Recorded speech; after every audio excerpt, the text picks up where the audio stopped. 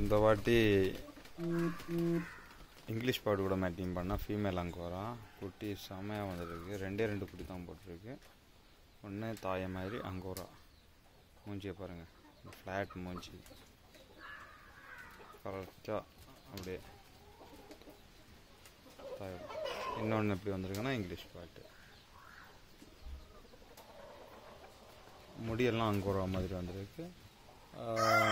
ஃபேஸும் வந்து அங்கோரா ஆனால் இங்கிலீஷ் பாட்டு அங்கோரில் இங்கிலீஷ் பாட்டு இன்னொன்று அங்கோரா கிராஸ் ப்ரீடு தான் ஆனால் ரெண்டு குட்டியுமே செமையாக வந்திருக்கு ரெண்டே ரெண்டு குட்டி தான் போட்டிருக்கு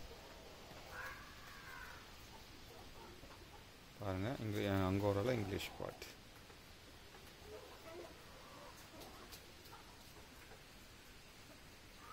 இருபது நாள் ஆயிடுச்சு அஹ் இனி பத்து நாள் கூட ஆயிடுச்சுன்னா சேல்ஸ் பண்ணிடலாம்